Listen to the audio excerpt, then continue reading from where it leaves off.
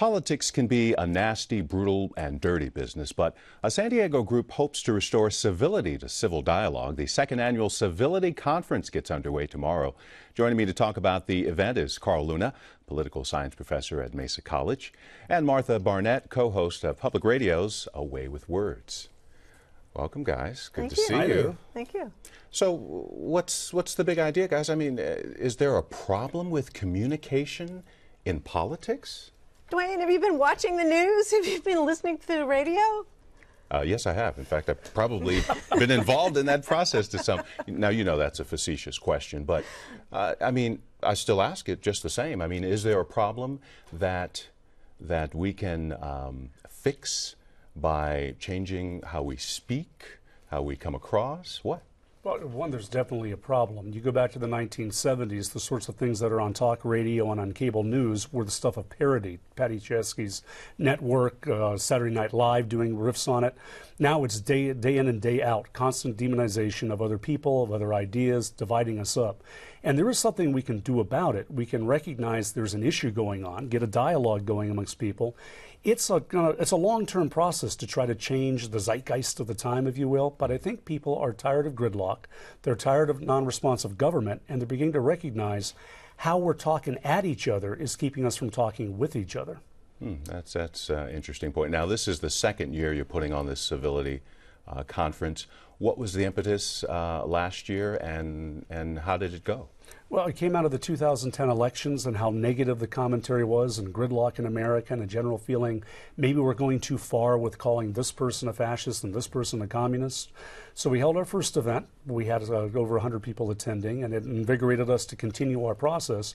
We would like to get onto people's social radar that how you say things, how you conduct yourself publicly does matter. That if you're working as we the people toward common decisions, you got to respect the other guy a little bit because he's an American like you.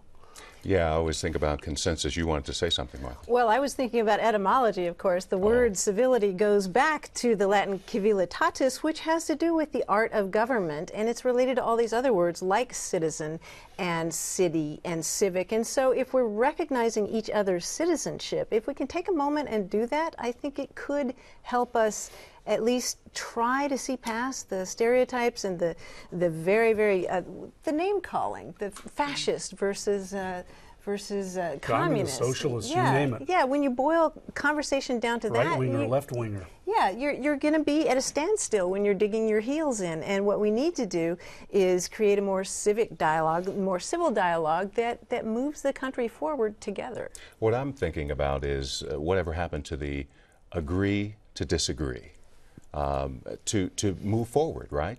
We may not agree on how to get it done or uh, what caused it, but we do agree that we both have to uh, come to a consensus uh, and move forward uh, for the sake of the people, for the sake of the city, the sake of the state. Right?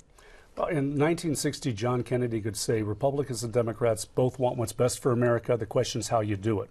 That broke down in the 90s. We entered into a blood sport politics, my side versus your side. Talk radio and the rest helped to reinforce that. And that goodwill concepts kind of disappeared. Bottom line, our entire system of government is based on consensus and compromise. When you can't reach the middle ground, it falls apart. Now, polls showed over the last 10 years the public didn't want consensus. They wanted our side to win. Since 2010, though, the polls are starting to change. A majority now says they wouldn't mind to see a little bit of compromise going on. And if that grows, the only way you're going to reach compromise is to be a little bit more civil with each other and respect both sides. Uh, uh, we the people means everybody's a winner. I mean, it's the Oprah Winfrey School where you get something and you get something. Me winning and you losing is not the way our government's supposed to work. All right, let's. Uh, we've got about a minute here. Martha, you're one of the panelists uh, on the um, conference tomorrow. What is it? uh, What's your brief message uh, to those?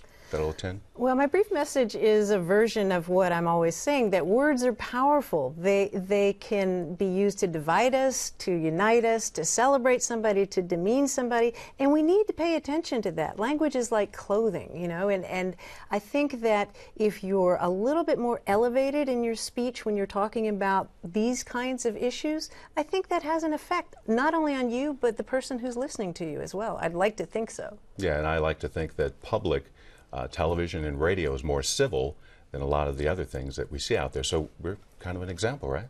Most certainly. Martha Barnette, Carl Luna, thank you. Thank you. Thank you. By the way, here's uh, more information on the second annual Civility Conference. Uh, it runs from 8 until noon tomorrow at USD's Joan Kroc Institute for Peace and Justice. By the way, it's free and open to the public.